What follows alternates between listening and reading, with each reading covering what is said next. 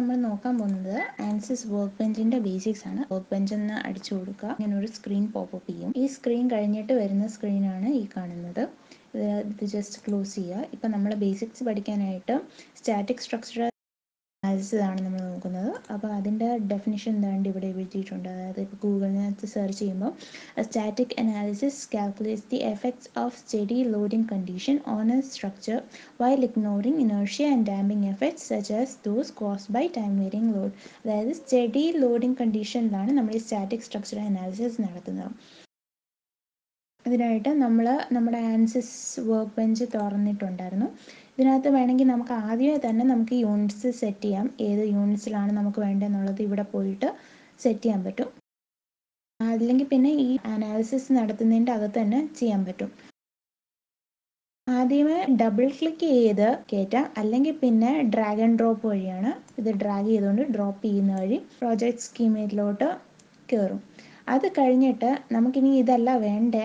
വേറെ ആയിരുന്നു വേണ്ടെങ്കിൽ ഇതിവിടെ ഇപ്പം ഒരു ഓപ്ഷൻ ഉണ്ട്. ഒരു ആരോ കാണിച്ചിട്ടുണ്ട്. ആ ആരോയിൽ ക്ലിക്ക് ചെയ്യുമ്പോഴത്തേക്ക് നമുക്ക് ഡിലീറ്റ് ചെയ്യാനുള്ള ഓപ്ഷൻ ഉണ്ട്. അല്ലെങ്കിൽ റീനെയിം ചെയ്യാനുള്ള ഓപ്ഷൻ ഉണ്ട്. അതൊക്കെ ഉണ്ട്. നമ്മളുടെ സ്റ്റാറ്റിക് സ്ട്രക്ചറിലാണ് ഇതിനകത്ത് അനാലിസിസ് സിസ്റ്റം നമുക്ക് വേണമെങ്കിൽ ഒരു നെയിം കൊടുക്കാം. അതിന് വേണ്ടിയിട്ട് ഇതുണ്ട്.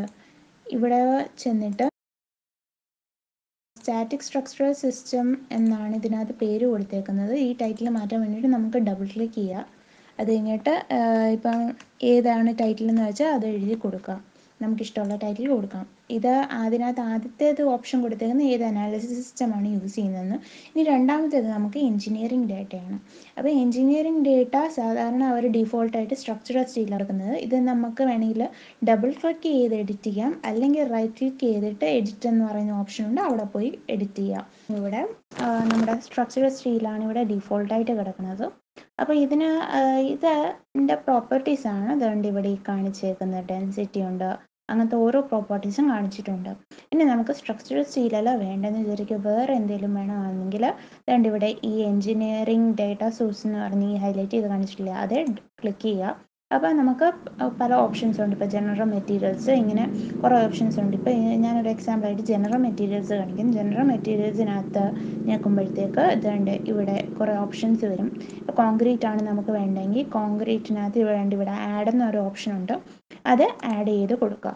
ആഡ് ചെയ്ത് കൊടുക്കുമ്പോഴത്തേക്ക് ഈ എൻജിനീയറിംഗ് ഡേറ്റ സോഴ്സ് പിന്നെയും നമ്മളൊന്ന് ഹൈലൈറ്റ് ചെയ്യുന്നതെന്ന് മാറ്റുവാണെങ്കിൽ ഇവിടെ ഇപ്പം നമ്മൾ ആഡ് ചെയ്തത് കോൺക്രീറ്റിന്റെ പ്രോപ്പർട്ടി കോൺക്രീറ്റ് നോക്കിയാൽ കോൺക്രീറ്റിന്റെ പ്രോപ്പർട്ടീസ് ഉള്ള സാധനം കാണാൻ പറ്റും. ഇനിയും കോൺക്രീറ്റിന്റെ പ്രോപ്പർട്ടീസ് നമ്മൾ നമ്മുടെ ഇഷ്ടത്തിന് പ്രകാരം ചേഞ്ച് ചെയ്യണമെങ്കിൽ അത് ഡബിൾ ക്ലിക്ക് ചെയ്യുക. ഇപ്പം ഡെൻസിറ്റി ഇപ്പോൾ ടു ഫോർ ഡബിൾ സീറോ ആക്കണമെങ്കിൽ അങ്ങനെ എടുക്കാം ഇതിനകത്ത് യൂണിറ്റ് നമുക്ക് ചേഞ്ച് ചെയ്യാനുള്ള ഓപ്ഷൻ ഉണ്ട്.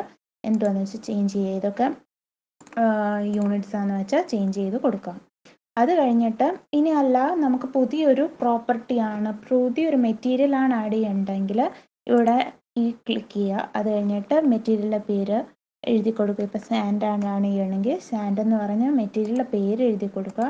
ഇനി ഇതിന്റെ ഓരോ പ്രോപ്പർട്ടീസും ഇതിനകത്ത് വന്നു ഇപ്പോൾ ലീനിയർലി ഇലാസ്റ്റിക് ആ പ്രോപ്പർട്ടി ഐസോട്ടോപ്പിക് പ്രോപ്പർട്ടീസ് ആണ് വേണ്ടെങ്കിൽ അത് ഡബിൾ ക്ലിക്ക് ചെയ്യുക. എന്നിട്ട് ഇട്ട് കൊടുക്കുക. എന്നിട്ട് ഓരോ പ്രോപ്പർട്ടീസ് നമ്മൾ ഏതാണ് പോയിസൺസ് റേഷ്യോ ഇപ്പം പോയിന്റ് ടൂന്നോ എന്തുവാണ് അതിനകത്ത് പോയിസൺസ് റേഷ്യോ വേണമെന്ന് വെച്ചാൽ അത് ഇട്ട് കൊടുക്കുക. അങ്ങനെ ഓരോ പ്രോപ്പർട്ടീസും ഇവിടെ സൈഡിൽ ഏതൊക്കെയാണ് പ്രോപ്പർട്ടീസ് എന്ന് വെച്ചാൽ സെലക്ട് ചെയ്തിട്ട് ഇട്ട് കൊടുക്കുക. അങ്ങനെ നമുക്ക് സാൻഡിന്റെ പ്രോപ്പർട്ടീസ് ഒക്കെ ഇട്ട് കൊടുത്ത് നമുക്ക് എഞ്ചിനീയറിംഗ് ഡേറ്റ അതിനകത്ത് ഫില്ല് ചെയ്യാൻ പറ്റും. പ്രോപ്പർട്ടീസ് കൊടുക്കുമ്പോൾ യെല്ലോ സിമ്പിൾ അതായത് ഇപ്പം യങ്സ് മോഡലേഴ്സ് കൊടുത്തിട്ടില്ല എന്നാണ് അതിന്റെ അർത്ഥം. അപ്പം യെല്ലോ സിമ്പിൾ ഇല്ലാതെ ഉള്ള പ്രോപ്പർട്ടീസ് എല്ലാം സേവ് ചെയ്ത് കൊടുക്കുക. ഇപ്പോൾ ജസ്റ്റ് ഒരു സാമ്പിളിന് വേണ്ടിയിട്ട് ഞാൻ ടു എന്ന് കൊടുക്കുക യങ്സ് മോഡലേഴ്സ് പിന്നെ നമുക്ക് ക്ലോസ് ചെയ്യാം. അങ്ങനെ ക്ലോസ് ചെയ്യുമ്പോഴത്തേക്ക് ഇത് കണ്ടോ? എഞ്ചിനീയറിംഗ് ഡേറ്റയിൽ ഒരു ടിക്കോൺ വന്നിട്ടുണ്ട്.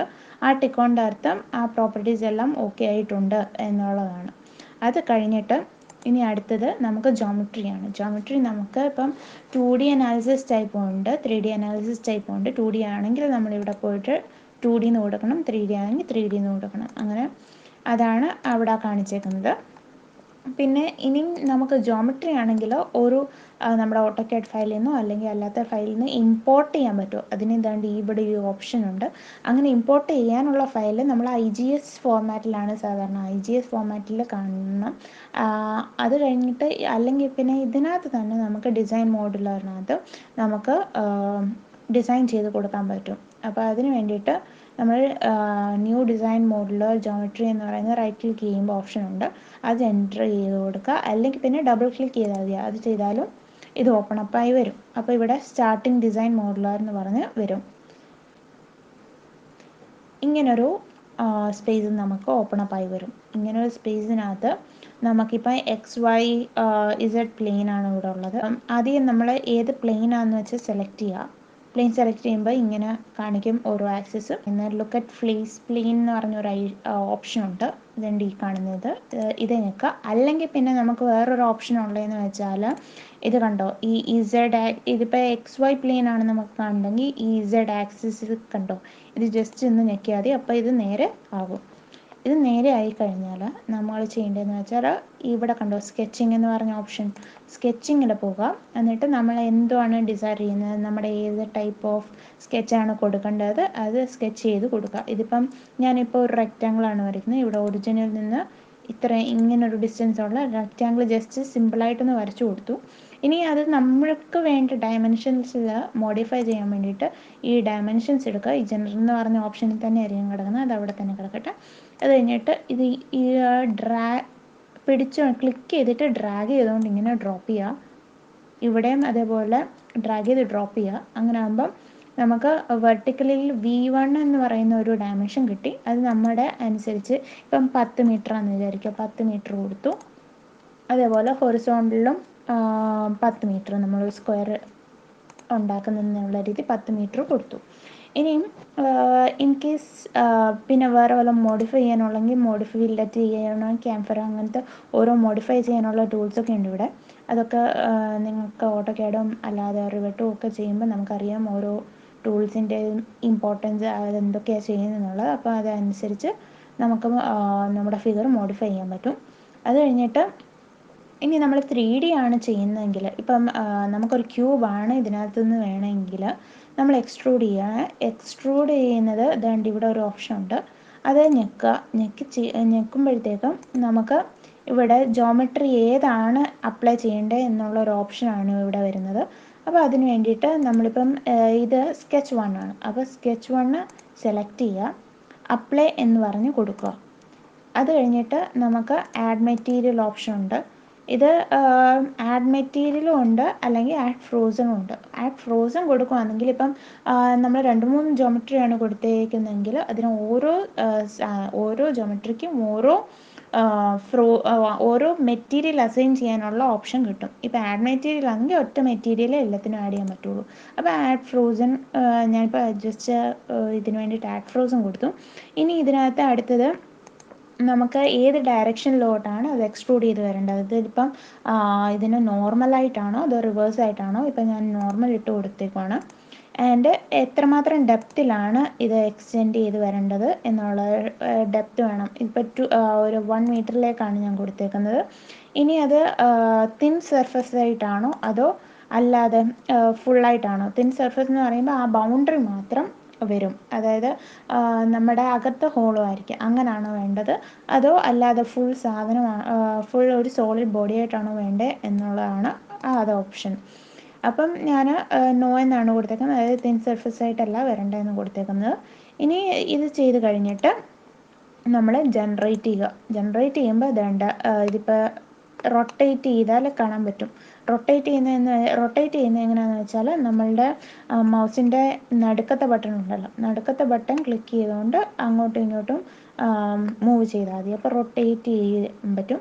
അപ്പോൾ ഇത് കണ്ടോ വൺ മീറ്റർ തിക്നെസ്സിൽ നമ്മൾ ആ ബോഡീനെ എക്സ്ട്രൂഡ് ചെയ്തു നോർമൽ ഡയറക്ഷനിൽ അതായത് ഇസഡിന് പോസിറ്റീവ് ഇസഡ് ഡയറക്ഷനിൽ എക്സ്ട്രൂഡ് ചെയ്തു. ഇത് നമ്മൾ ത്രീ ഡി കേസിലാണ് ഇങ്ങനെ ചെയ്യുന്നത്. ഇനിയും ടു ഡി കേസാന്ന് വിചാരിക്കുക. ടു ഡി കേസിൽ നമുക്ക് വേണ്ടതെന്ന് വെച്ചാൽ ഒരു സോളിഡ് ബോഡി അല്ല ഒരു പ്ലെയിൻ ആണ്. അപ്പോൾ ഞാൻ ഈ എക്സ്ട്രൂഡ് ഡിലീറ്റ് ചെയ്യുന്നതെന്ന് കാണിച്ചേക്കാം.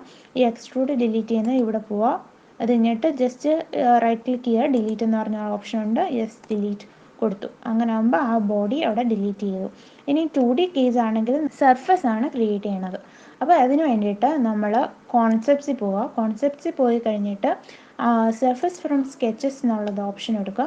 ഓപ്ഷൻ എടുത്ത് കഴിഞ്ഞിട്ട് ഇവിടെ ഏതിനാണ് ഏത് ബേസ് ഓബ്ജക്റ്റ് ആണ് അത് ഏതിനാണ് അപ്ലൈ ചെയ്യേണ്ടതെന്നുള്ളതിന് സ്കെച്ച് എന്ന് പറഞ്ഞ് സെലക്ട് ചെയ്യുക എന്നിട്ട് അപ്ലൈ എന്ന് കൊടുക്കുക എന്നിട്ട് മുമ്പേ പറഞ്ഞ ഒരു മെറ്റീരിയൽ ആണോ ഫ്രോസൺ ആണോ എന്ന് കൊടുക്കുക എത്രമാത്രം തിക്നെസ് വേണം എന്നുള്ളത് ഓപ്ഷനാണ് ഓപ്ഷണലാണ് അത് നമുക്ക് വേണമെങ്കിൽ കൊടുക്കാം അല്ലെങ്കിൽ വേണ്ട.